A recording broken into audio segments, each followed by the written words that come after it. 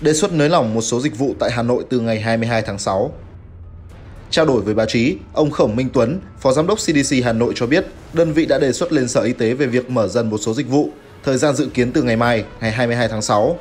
Theo đó, những cửa hàng ăn uống trong nhà, những hoạt động tập thể dục ngoài trời sẽ được hoạt động trở lại.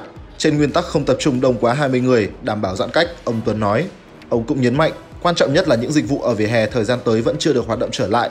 Trước băn khoăn nếu mở lại dịch vụ ăn uống trong khi đang mùa đá bóng, mọi người tụ tập tại các quán bia, cà phê xem đá bóng càng khiến nguy cơ lây nhiễm bệnh tăng hay không, ông Tuấn khẳng định.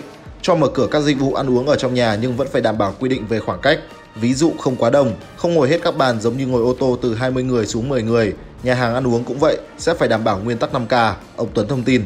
Trả lời rõ hơn câu hỏi, liệu Hà Nội có cho mở lại quán bia trong tuần này hay không? Ông Tuấn cho biết, Sở Y tế Hà Nội có đề xuất nhưng không biết có được duyệt không. Tuy nhiên, ông Tuấn nhấn mạnh, nếu có mở vẫn phải đảm bảo giãn cách 50% chỗ ngồi. Đối với bể bơi, theo ông Khổng Minh Tuấn, giống như các dịch vụ hoạt động thể dục thể thao ngoài trời sẽ được mở cửa, hoạt động trở lại nhưng phải giảm mật độ.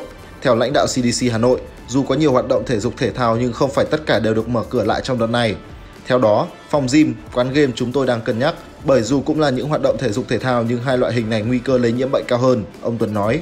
Trước đó, liên quan đến việc xem xét và cho phép hoạt động trở lại một số dịch vụ hoạt động thể thao ngoài trời không quá 20 người, Thường trực Thành ủy yêu cầu Ban cán sự Đảng Ủy ban nhân dân thành phố cân nhắc kỹ lưỡng thời điểm cho phép một số lĩnh vực dịch vụ hoạt động trở lại. Việc này cần có quy định, điều kiện kiểm tra, kiểm soát kèm theo, bảo đảm an toàn, hiệu quả công tác phòng chống dịch bệnh COVID-19, tránh chủ quan lơ là dẫn đến dịch bùng phát.